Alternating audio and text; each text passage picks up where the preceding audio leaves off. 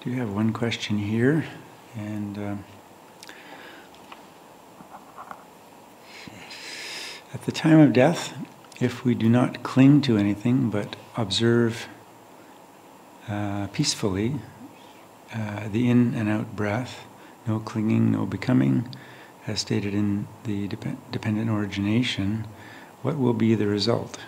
Is it the end of rebirth?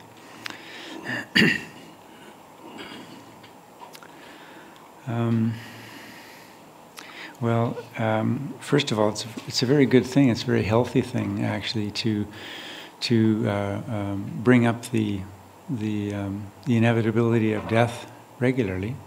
Of course, we don't we don't know what it will look like. We don't know when it will happen, how it will happen, um, what our body will be like at the time. Um, we don't know if it will be accidental or at the end of a lengthy illness, or whether we will it will be peacefully in our sleep, or through some act of violence. Um, we just we just don't know. It's uh, it's an impond- imponderable in a way. We just know that we, we, we, we will die.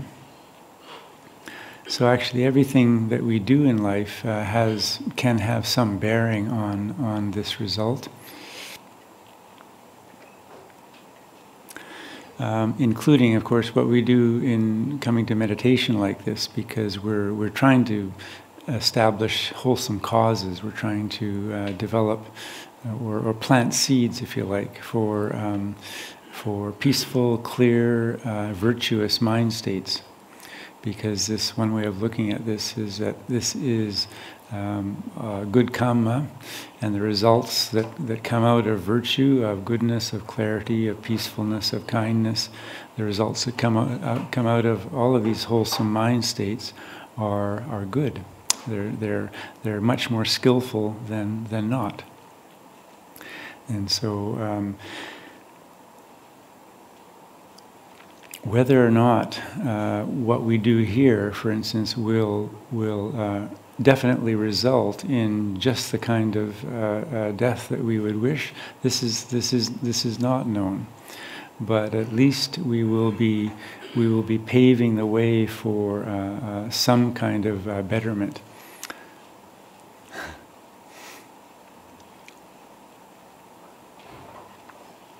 Good, so thank you. Okay. Thanks very much.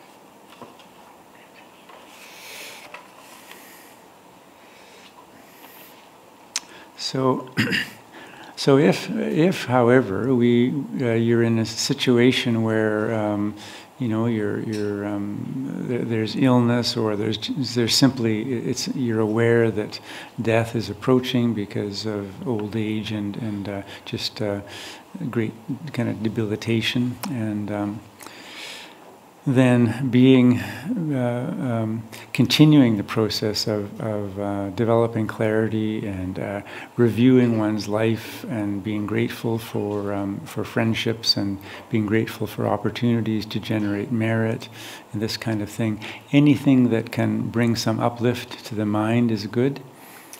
And in that state of um, in that state of ease, then then the mind can go to the breath, and it's it's a, a um, there's more there's more clarity and peacefulness there. Thanks. Okay.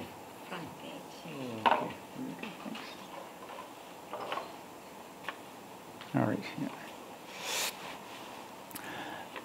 We can't we can't say though that this will will definitely result in um, in in um, in in one way or another uh, at, at, the at the time of death itself.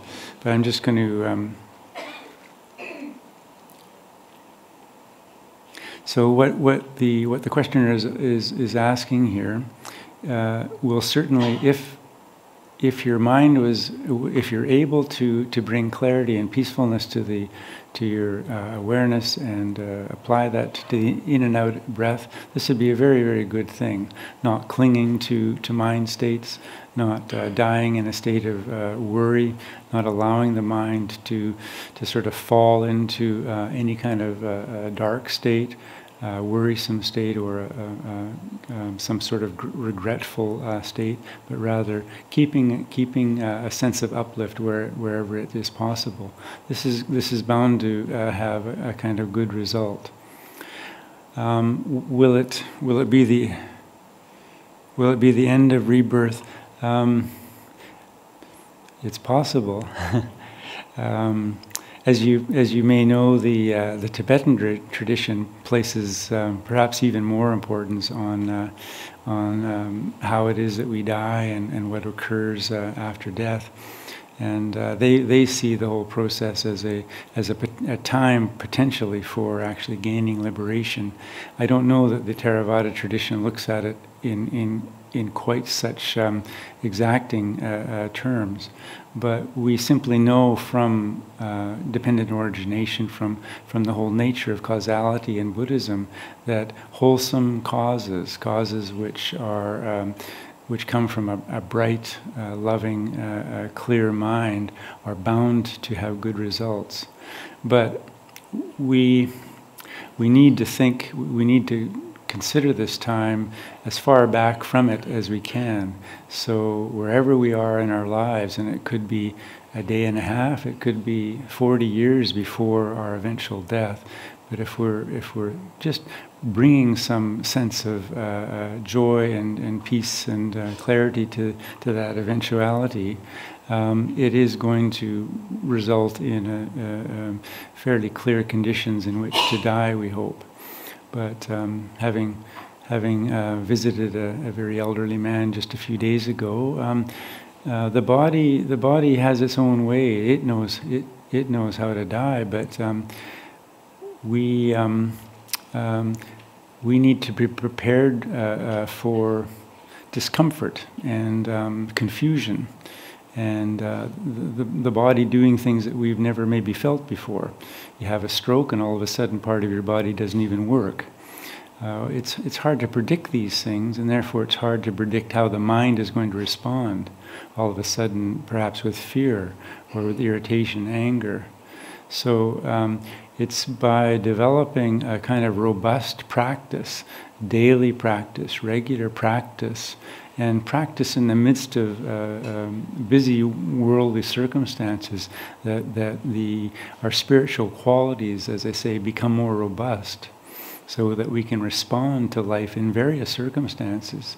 Because because uh, it isn't always it certainly isn't always the case that that uh, people die uh, with a body that's just uh, in a, in a state of relative ease and then simply slips away peacefully. Not at all so this is this is why uh, the practice that we do here and uh, our our daily dedication to virtue, for instance, to, uh, speaking truthfully and uh, kindly and and um, uh, and um, um, uh, clearly in the face of various circumstances. Maybe sometimes we have to apply a great deal of patience or forbearance, but um, not only is the, ex- the, expression of patience or forbearance uh, tomorrow or whenever of value, but by doing that and by doing it again and again, we're developing, if you like, spiritual muscles.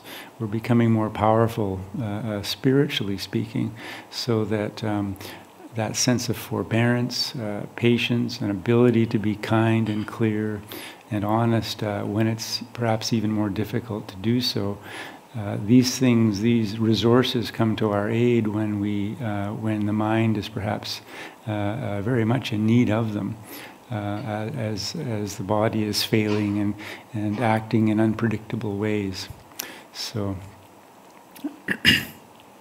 So we can't we can't say from a distance whether there will be the end of rebirth owing to this, but it will certainly help in um, in the process of, of rebirth, and um, that uh, that will be for our long-term benefit. Uh, just being clear about the about the breath as we're dying um, may not be sufficient to actually bring about the end of end of uh, um, end of all suffering uh, if that's what you mean. But but it will. It's it's part of a the practice of a, of a true Buddhist practitioner for certain. But it depends on the preconditions, how the, you know, uh, what the quality, the spiritual quality of the heart and mind have been maybe for some time, and the, the kind of clarity into the three characteristics of existence. This is, this is of course, where, where uh, liberating insight occurs, when there's uh, liberating insight into one of, one of the three, yeah, impermanence, suffering, or not, not self. So if, if that kind of clarity on the, on the inhaling and exhaling of the breath, while the, while the, the uh, diminishment that was occurring during death was sufficient to actually give that insight, then, then it could, could be, yes. I mean, it's, it's we're always interested, of course, as, as Theravada Buddhists, in, in what it is that brings about liberation, liberating insight. Sometimes it's easy to be a little bit discouraged because uh, it's um, not an easy process, and um, uh, living around or having some acquaintance with hundreds and thousands of monks, and, and having known, you know, many many practitioners in my life uh, numerically speaking, I, my sense is that um, liberation is, is not so common in this world. So there's that's one sense. We have to be, I think, honest about that. On the other hand, um, by following the Eightfold Path as best we can and, and reflecting on it regularly, um, maintaining our virtue, because of course that is the foundation, and then reflecting and, and practicing uh, with regularity and sincerity and, and courage uh, we know we're, we're, we're treading the path that the Buddha laid down, and it only leads to one place. Yeah, that's so. There has to be a sense of uplift, and, and, and there is there is true and, and genuine encouragement that can, can come from that. So it's kind of a middle way, recognizing that it's um, it is in this world at this time a, a rare thing, and yet it is possible, because what what we do is leading in that direction. So, um, being realistic but also uh, spiritually inclined and optimistic is, is, is very good, I think.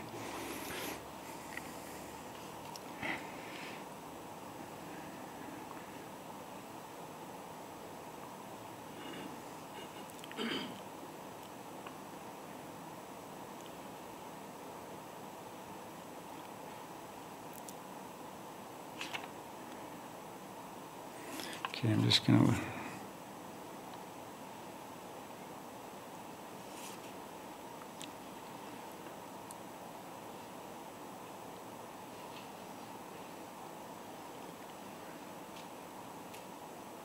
Okay, I'll start with this one maybe.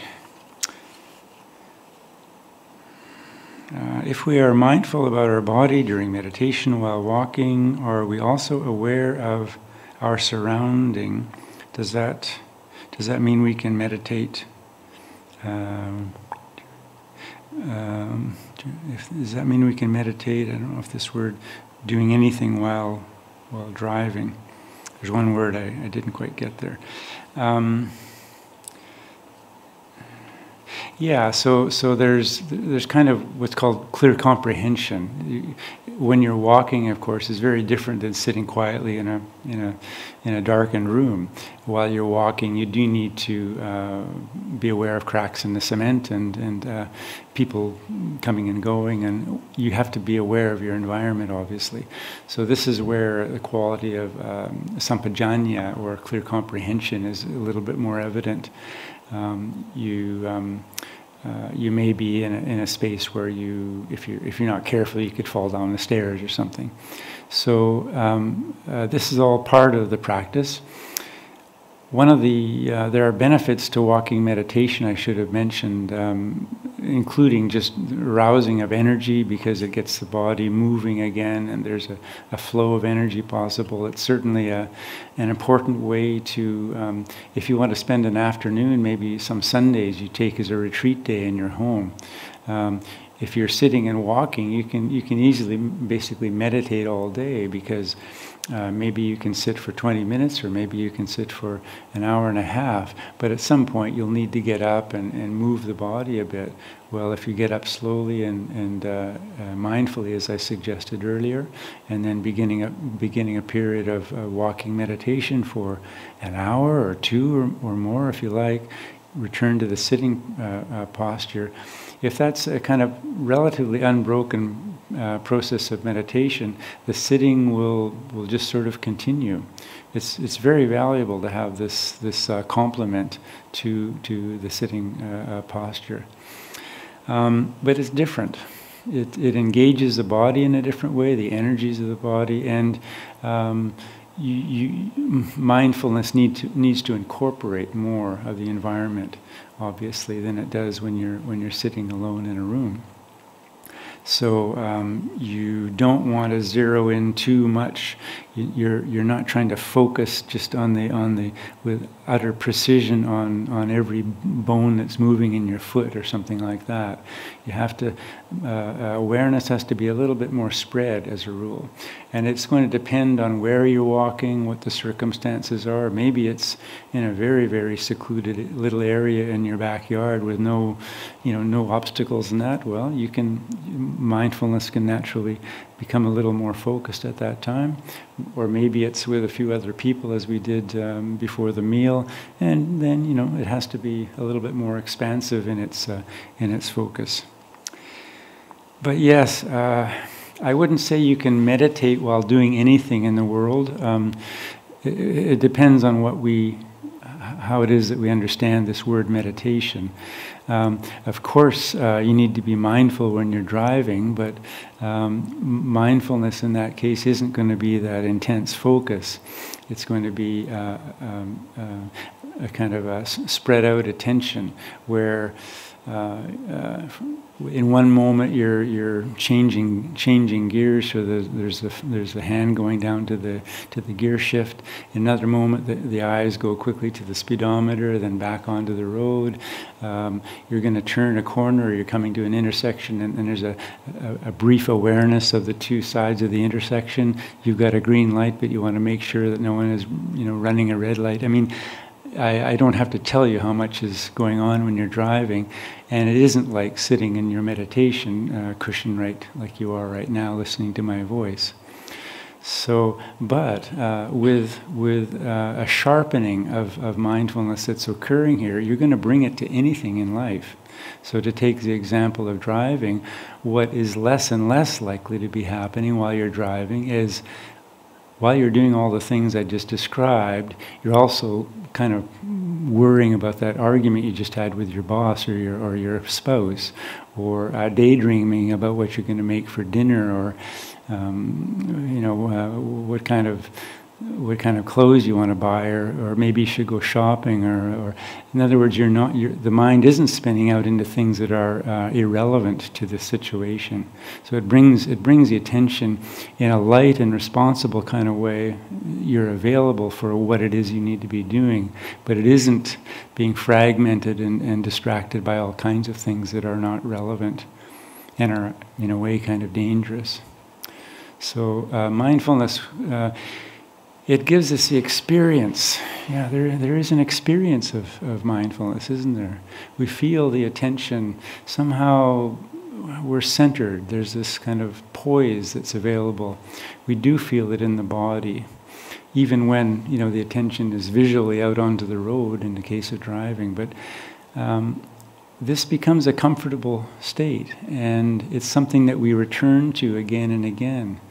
And as it becomes more um, natural, you might say, we're doing it regularly at home, the mind quickly comes back to it more quickly. Um, some of you listen to Dhamma talks, yeah?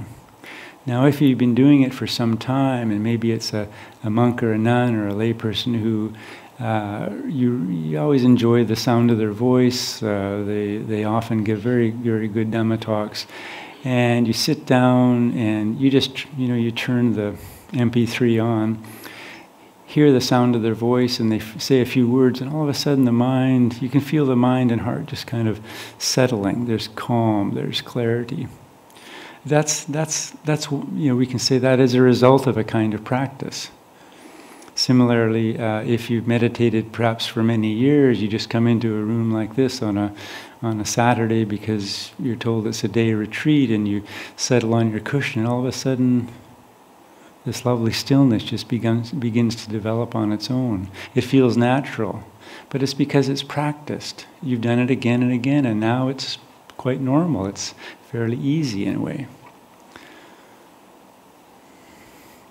There's a there's an Israeli, I guess he's a scientist named Feldenkrais who who started a a movement regarding uh, uh, um, body, you know, exercise and health and that. And uh, I think he had some saying about yeah when you when you do this what was impossible becomes possible. What was possible becomes easy. And what was easy becomes elegant. See? So that's what we're looking for in meditation too you know at first it just it may be just impossible but you stick with it and it becomes oh okay i guess i can do this work sometimes but you know you're grappling with it a bit over time, it was, you know, it, it, it is possible and it starts becoming easy at times. And then, of course, with, with masters that, we, that you see coming through Melbourne from time to time, it's obviously elegant. And that's something to aspire to. They, they, just, they just never put a foot wrong, in a sense. They sit down, they stand up, they eat a meal, they, they blow their nose, whatever they're doing, you know, whatever they're doing, it's just, it's just, they're just who they are, right in the moment, and and uh, they know exactly where they are. The heart's always just where it needs to be, and they say always what they need to say. So it's very inspiring to be around such people. So yes, with with something like driving, don't uh, please don't. Um, take too uh, uh, focused, don't define meditation in too tight a way, otherwise it could lead you into some, some trouble on the road. Uh, okay, dear Venerable, please explain Vipassana meditation. Blessings of the Triple Gem with gratitude.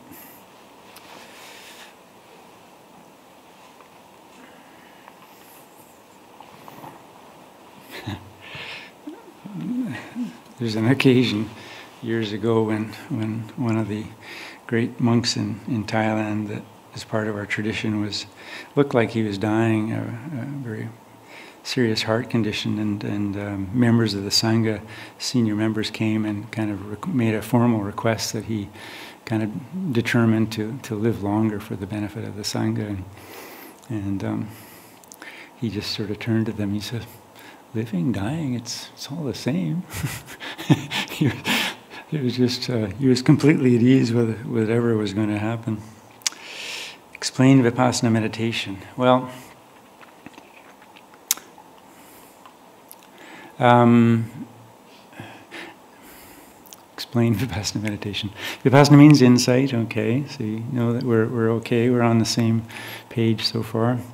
Um, Vipassana meditation is is a um, a way of, of um, treating, way of understanding, way of practicing meditation in Buddhism, which, in, in a certain sense, and I'll be I'll try to qualify this, in a certain sense, is um, fairly recent.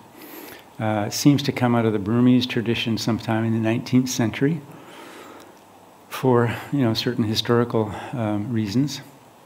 And uh, over time, the idea of the, the 10 day retreat develops. And um, it, it, it treats meditation in a particular way within a culture, Burmese at that time, within a culture, of course, where the, the faculty of faith is already quite strong. So, um,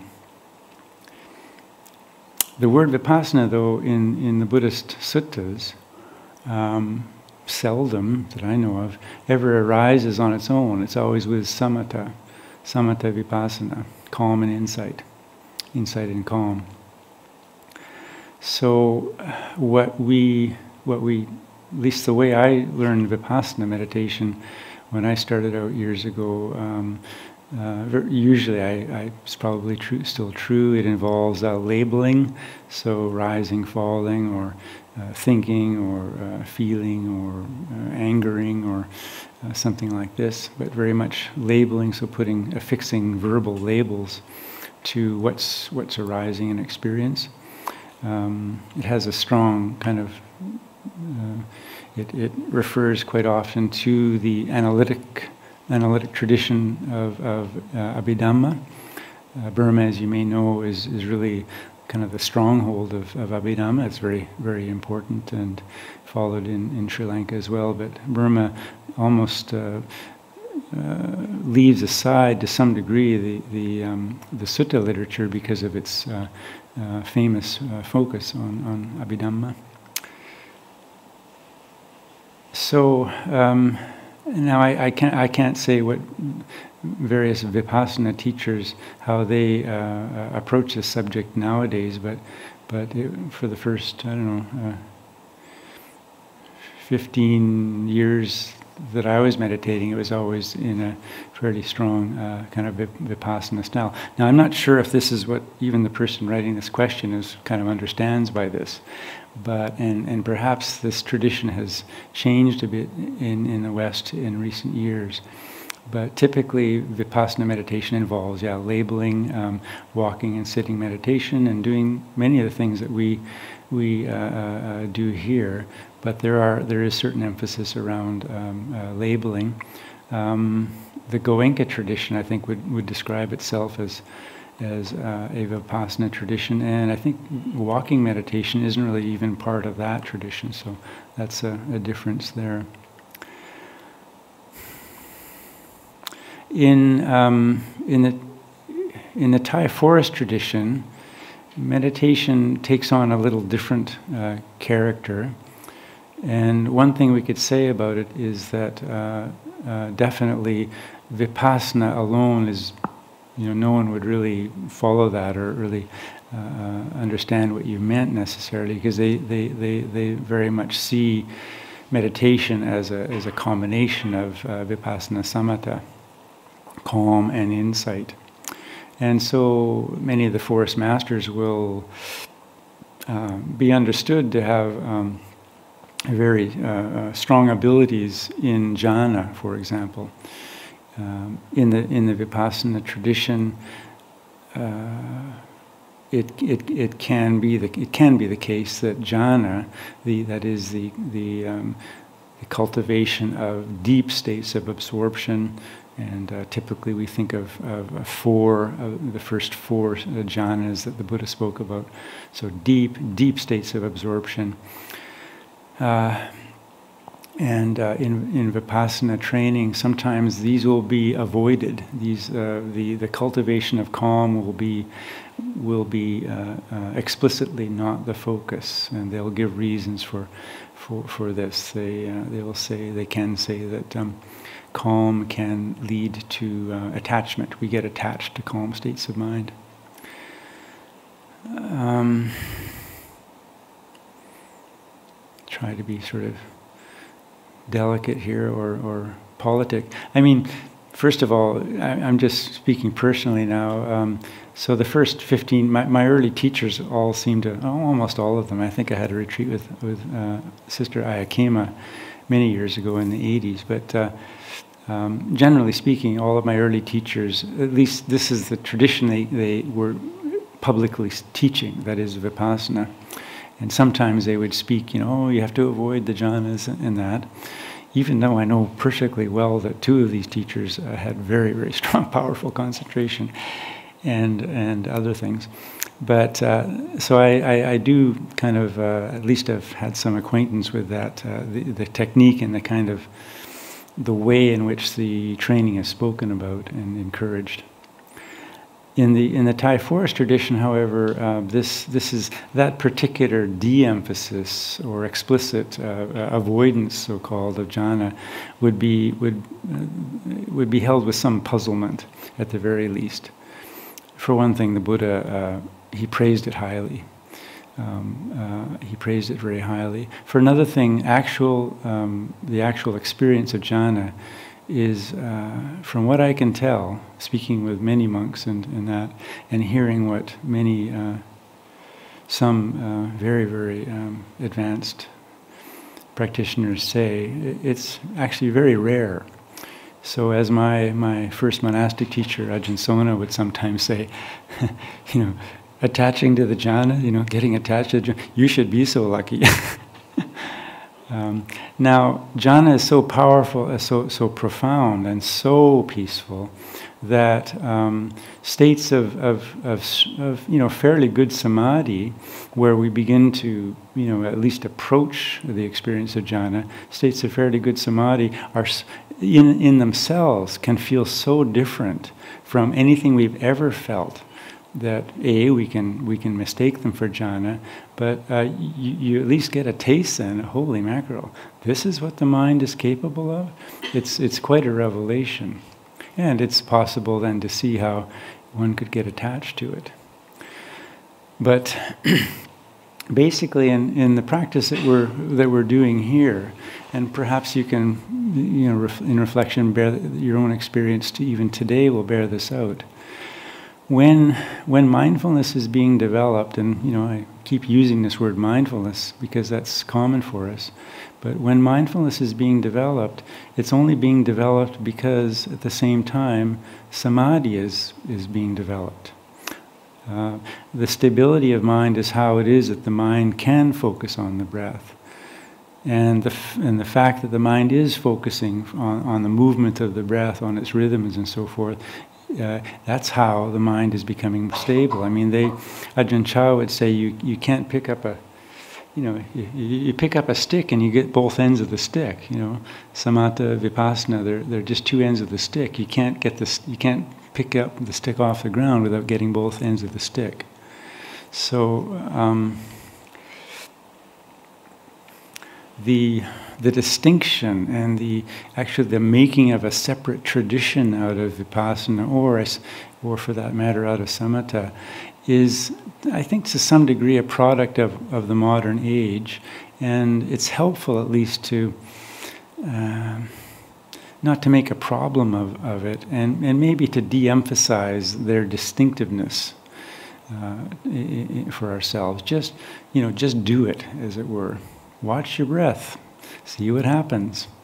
There will be calm and clarity. And calm and clarity are other ways of speaking about the, the arising of, of samatha vipassana. Then, in a technical sense, of course, vipassana or insight refers to the, uh, the insight into impermanence, suffering, and not self. So, then, then we can speak about uh, these liberating insights arising. But they, they, occur when the conditions are all there, when everything is just right, when the, when the fruit is ready, it'll drop, you know, from the tree. Um, so this is where, where uh, desire certainly works its way into things. As, as I quoted earlier from Luang Por Sumedho, uh, only wisdom can see desire. Desire cannot see wisdom. So uh, insight in a in, insight uh, uh, uh, fully blown, insight proper, it will arise when causes and conditions are all established. That's something we can we can we can be certain of.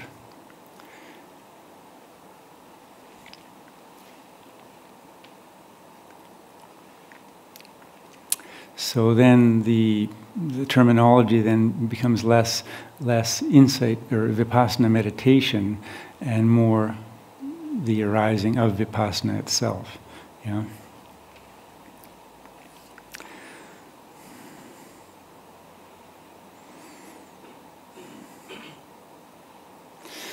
All of that said, I mean, it's uh, it's it's interesting how many of the uh, uh, forest masters, at least that I've had some contact with, they. Um, they, they, they don't always tend to use the sort of technical language that we're used to from reading the, the texts, maybe.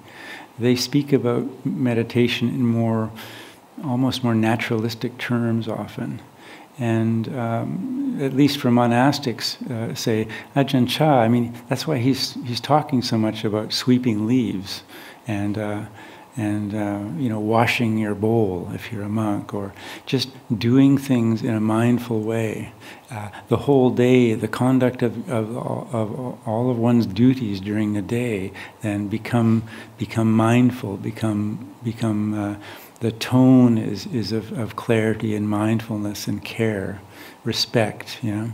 And all of that is, is just uh, continuing to establish a foundation for, for the meditation that occurs in the sitting cushion. But, but what it is that we do during the day is not somehow just something else.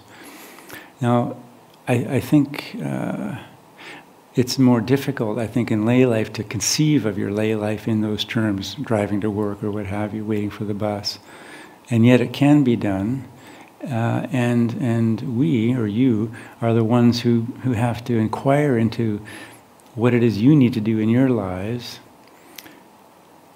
and, and see how it is that this kind of practice can, can, can feed itself into that life.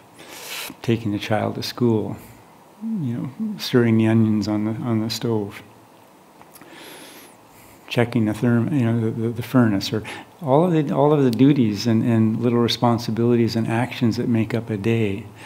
But but the more familiar you become with what mindfulness feels like, what what uh, the embodiment uh, of mindfulness feels like, the more it will become obvious to you, that, that, the more your practice will speak to you in daily life. How is it that you speak with coworkers and your spouse? How is it that you take your car to the garage to get and speak to the mechanic to check your brakes? You know, um, we do see this sometimes with people. How they there's a kind of integrity or seamlessness with them they just, uh, I mean, um, an elderly man who died just last week, and I'll be attending his funeral tomorrow. What his what his daughter was telling me uh, about him was that he just was always people always liked him, trusted him. He was generous and kind. He was never selfish. He never seemed to be just trying to get more stuff for him or the family, but was kind of open-handed uh, with neighbors and you know, people that he met, and um, just a, uh, a, kind of a quiet mind and a quiet heart and a gentleness, which, yeah, is quite rare, but nevertheless, it shows us that it's it is possible uh, to to conduct oneself like that. But the more, so the more value we place on on this this this particular kind of practice, the more it can begin to speak to us uh, in in anything that we do in life. And when we go off the rails, we feel it more acutely. Ah, this is more, you know, uh,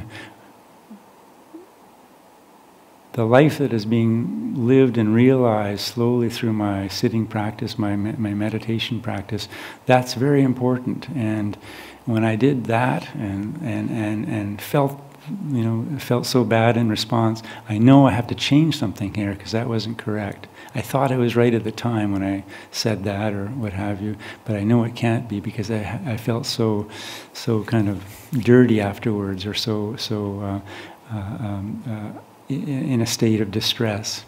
I need to change something about that because what my meditation practice tells me is something quite different that that um, matters of the heart and, and honesty and and, and um, loving kindness and that these are what give true meaning and value to life.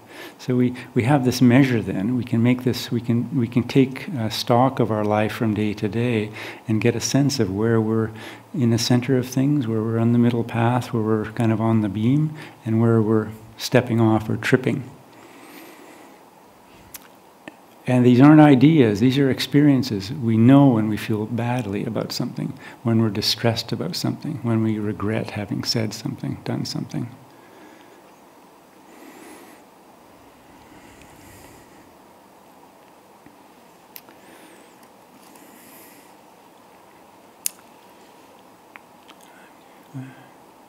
Okay, I'm new to real, oh, real meditation, quote unquote, because I have been taught by a different uh, by different resources to hold a thought, hold a vision, hold a light. Now I'm trying to um, uh, now I'm trying to ready uh, peace and nothingness. Or I may have missed. I may not be reading this right. Stillness of mind is the right thing. Is the right way. Um, and is it right to count my breath as my mind often wanders off? Yes, our minds do wander off, don't they? Darn those minds of ours. Okay, so um, uh, so this person has started out by kind of holding thoughts, holding visions, holding light. Um, there are there are a lot of forms of meditation. It's very true. Even in Buddhism, I mean, the traditional number listed in the Visuddhimagga is forty. That's that's quite a few types of meditation in, in, in, in, days like this, we, we usually speak about loving kindness and watching the breath and things like this. But there are many, there are many types, and some of them might, might begin to approach things that you've already done. The value, however, to, to uh, watching the breath and, and uh, um, focusing our understanding and our experience around the cultivation of mindfulness is that it's broadly, is so broadly applicable in life some forms of meditation, for instance, in the Visuddhimagga or that the Buddha talks about, they, they are done only when you have access to a, a very skilled and um, knowledgeable teacher, experienced teacher. Only know, in cases of, of, celibacy, solitude, silence, you know, they're very refined. Um, and so just because they, for instance, happen to be in a book, it doesn't mean it's a, even a good idea. It's not prudent to, to think that that's where you're gonna, that's where your practice is going to lie. So um, what we what we practice and, and, and, and teach in, in occasions like this are broadly applicable, as I say, and 10 years down the road, wherever you begin to uh, uh, um, practice or experiment a bit with, with a form of meditation under a teacher, you're already going to have uh, the resources that, that, that, that give you uh, some discernment about its value. So, in other words, what it is you've been doing, uh, it may not be uh, of use to you at this time, and it may be that. Um, your understanding of what you're doing wasn't you know wasn't quite uh, accurate, but but um, uh, it won't be necessarily lost. Counting the breath, yeah. So focusing on the breath. There are lots of things you can do with the breath. I, I mentioned things that, of interest of the breath. Its length, you know, breathing in long, breathing in short, breathing in short, breathing out long um, uh, the pause, you know, at the top of the breath and the bottom of the breath, the temperature, its texture, these sorts of things, little little uh, pointers to elicit some interest. Purely because the, the breath is normally such a neutral object, something that we don't we don't look at. So. Um, but counting the breath is quite is quite all right, and as you say, um, the mind does wander. Um, sometimes in particular uh, because we're trying to watch the breath. If you count the breath, um, don't just keep counting ad infinitum. Uh, keep it keep it distinct. Rather like when you're walking meditation, you know, you keep a, your walking path a certain length. You don't just sort of wander around, because the mind will start wandering around a lot more easily too.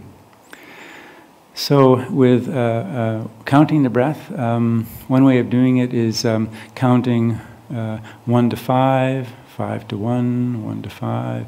So uh, breathing in, one, breathing out, one, breathing in, two, breathing out, two, or breathing in, one, breathing out, two, breathing in, three, breathing in, breathing out, four. Um, and then and then returning to one or uh, one to ten and ten to one, something like that. So just I would say keep it bounded. And um, if you if the mind wanders and it could easily do so, you just start again with one. So that's the reminder. When you notice that, that's the reminder. Whoops, I didn't even get to five. I'm at you know I got to three, and I started thinking about getting my brakes checked. Um, so that's that's a reminder, and it's kind of humbling, of course. Yes, so counting is is quite all right. Um,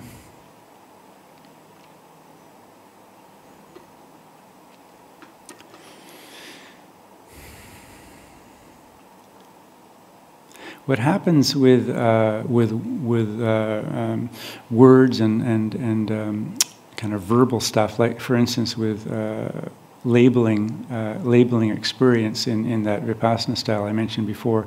At some point, especially with labeling, at some point it will become clear that the label is something in addition to the experience. So it becomes kind of unnecessary. That said, um, those who have used labeling um, uh, sometimes will find that you know the first for the first 10 minutes of every meditation, say, or you use labeling until you can feel uh, all of the uh, qualities of mindfulness once again aroused, and then you can let the labeling fall away and, and, just watch the experience itself. So these these techniques that, that seem a little bit cumbersome and unnecessary eventually, they can be employed, you know, um, for quite some time with, with real benefit. So we needn't dispense with them and feel like we've graduated, you know. It's always a sense of, of wanting to, to get beyond something and not be a, a beginner all the time. But uh, as Shunryu Suzuki famously said, beginner's mind is, is a great uh, is a great value. Just having that sense of uh, I'm just a beginner. I'm beginning again. One of my early teachers would always say, just beginning again, beginning again. Not trying to get anywhere. because the trying itself has, has of course, that, the seed of desire in it. So it's never quite enough. Where we are is never quite enough. We're never quite enough. Not good enough. Not there yet. This isn't good enough. This isn't whatever. There's always that kind of desire. And that desire is different from the, um, the kind of aspiration that we do cultivate in meditation. So you could say spiritual aspiration is, is, you say, the desire that will eventually get us to the end of desire. So even desire itself has to be understood with some skill. Because we wouldn't, you know, you could say, well, isn't there some desire to, to, to be better? And isn't there some desire that brings me to, uh, to come to a day retreat here at BSV? Yeah, there is, yeah. So it has to be, we have to, we have to develop a kind of refinement in our understanding of what desire is.